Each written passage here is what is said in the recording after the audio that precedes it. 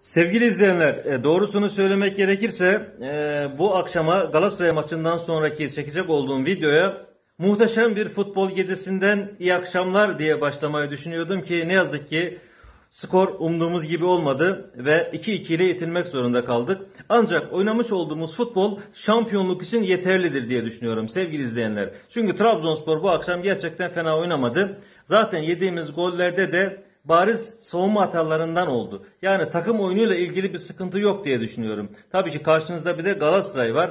Her ne kadar Galatasaray e, as oyuncularından yoksun olsa da Galatasaray Galatasaray'dır.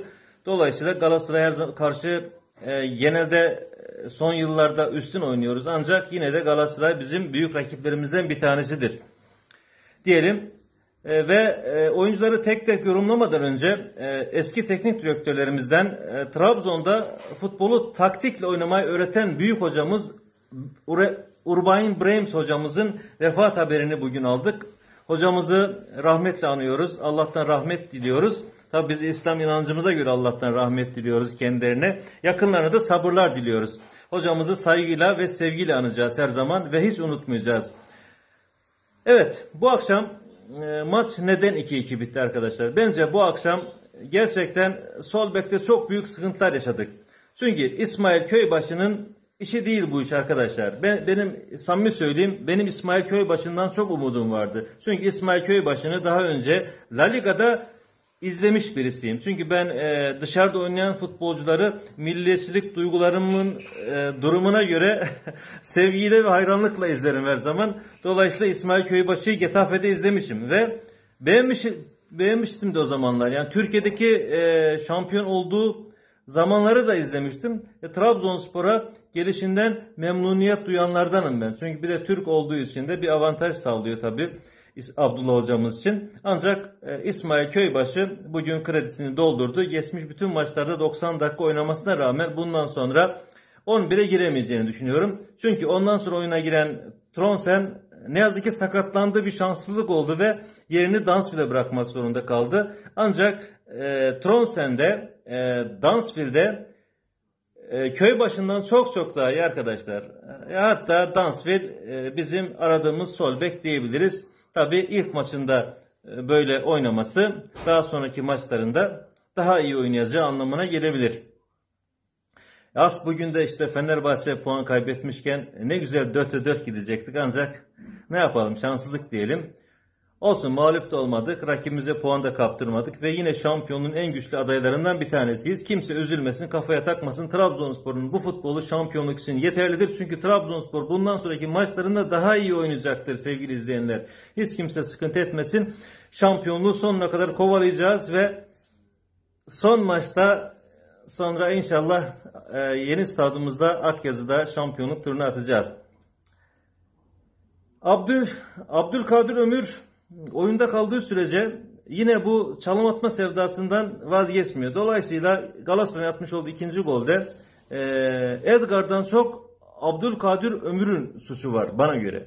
Çünkü Abdülkadir Ömür orada topu kaptırınca top e, bir şekil Edgar'a geldi. Edgar da öylesine geri pas verip Abdülkadir Ömür'ün yapmış olduğu hatayı telafi etmeye çalıştı. Ancak ne yazık ki top galecimize değil de Galatasaray'ın forvetine gitti. Kimse artık rakip takımın oyuncularını böyle tek tek e, pek e, sevmem yani böyle şey yaparak adlarıyla anarak. Onun için gol yiyince zaten moralimiz bozuldu.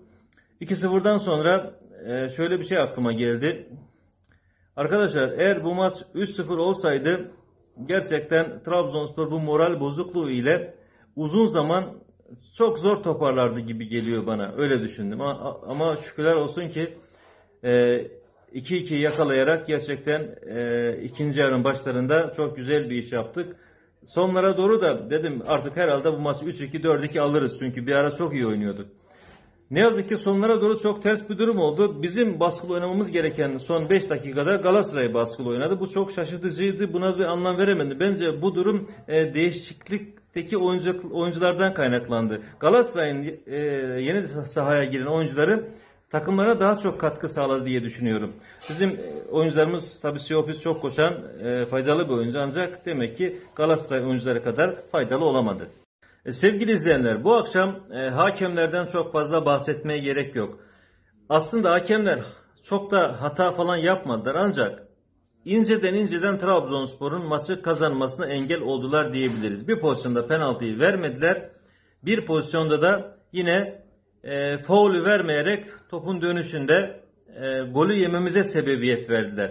Onun için hakemlerden her zaman olduğu gibi yine memnun değiliz. Dolayısıyla hakemlerden çok bahsetmeye de gerek yok. Yıllardan beri konuşuyoruz. Hakemler öyle hakemler böyle hakemler şöyle anlatıyoruz anlatıyoruz. Bir işe yaramıyor. Dolayısıyla hakemlerden hiç bahsetmeyelim zaten. Yani hakemler bizden değil. O çok açık ve net.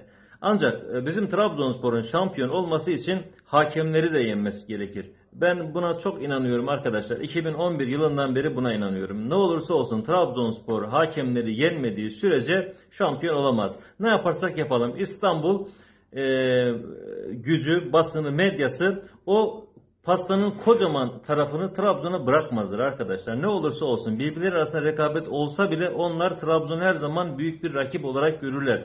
Daha doğrusu Anadolu'yu rakip olarak görürler.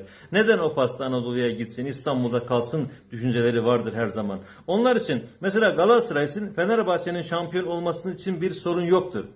Ee, Fenerbahçe için de öyle yani Galatasaray'a karşı. Ancak şampiyonluk başka bir takıma gidince e, o para İstanbul dışına çıkmış, çıkmış oluyor. Bu da İstanbul takımlarının yönetimini, oradaki yiyicileri işte hepsini sıkıntıya sokuyor. Hiç aralarındaki rekabet falan o işler hikayedir arkadaşlar. Ben buna e, adım gibi eminim ve bunu söylüyorum. Onun için hakemlerden bahsetmeyecektim. Bak yine de bahsetmiş oldum hakemlerden. E, Muslera e, arkadaşlar Muslera e, hayatı boyunca e, oynadığı profesyonel maçlarda en çok gol yediği takım Trabzonspor. Bu gol yediği rakamlara iki gol daha ekledi ve kırılması zor bir rekoru devam ettiriyor diyelim. Çünkü önümüzde bu sezon bir maç daha var. Ondan sonra muhtemelen Galatasaray devam edecektir ve yine iki maç daha oynayacak oynayacağız. Yani eğer sakatlık veya kart mart olayı falan olmazsa ve başka bir aksilik olmazsa Muslera bizimle en az 3 defa daha karşılaşacaktır. Tabi kupada da karşımıza çıkma ihtimali var. Onu da göz ardı etmeyelim. Ama yine de bu akşam Trabzonspor sahadan mağlubiyetle ayrılmadığı için e, yani bir teselli olabilir bizim için. Yani bir böyle bir ne diyelim yani mutlu değiliz aslında ancak çok da üzü hüzünlü değiliz. Çünkü maçı 2-0'dan çevirdik. Bir de arkadaşlar yani 2-0 galipken sonlara doğru 2 gol yiyip maçın 2-2 bitmesi var değil mi? Yani böyle bir sıkıntı da var. Dolayısıyla bu akşamki bir puandan mutlu olalım şampiyonluğun en güçlü adayıyız diyorum. Onun için kimse moralini bozmasın. Bu futbolumuz daha da gelişecek. Bu akşam oynadığımız güzel futbol daha da güzel olacak. Ve inşallah ligin ikinci yarısında bu İstanbul takımlarını tek tek yenip şampiyonluk kupasını Trabzon'a getireceğiz. Ve bu dokuzuncu kupamız olacak Trabzon'a gelen arkadaşlar. Herkese iyi akşamlar diliyorum. Evet bir konuya değinmeden geçemeyeceğiz. Daha maçın ilk yarısında Abdülkadir Ömür'e bir saldırı oldu diyebiliriz. Daha maç devam ederken bir taraftar sahaya giriyor. Tabi bu görüntüyü televizyonda izleyemedik çünkü kameralar çekmedi bu görüntüyü. Abdülkadir Ömür'e formasını vererek doğru önelan gibi bir hareket e, bir hakarette bulunuyor. Tabi Abdülkadir Ömür ondan sonra tabii ki daha oynayamaz ve hocanın Abdülkadir Ömür dışarı alması da çok doğru bir hareket aslında. Şimdi şöyle diyelim. Trabzonspor taraftarı yıllardan beri bu konularda sınıfta kalmıştır arkadaşlar. Trabzonspor taraftarının kendi takı, tuttuğu takımının oyuncusunun moralini bozmaya hakkı yoktur. İlla da Abdülkadir Ömür gibi duygusal bir çocuğun moralini alt üst etmeye hiç hakkımız yok. Çünkü Abdülkadir Ömür e, çok sakatlıklar geçirmiş yavaş yavaş kendisini toparlamaya başlayan bir oyuncumuzdur. Çocuğa sahip çıkmak lazım, destek olmak lazım. Belki de Abdülkadir Ömür taraftardan bu desteği görmediği için bu kadar kötü performans sergiliyordur. Onun için taraftarımıza büyük iş düşüyor. Bundan sonra da Abdülkadir Ömür'ün moralinin düzelmesi için yine taraftar devreye girmesi lazım diyorum.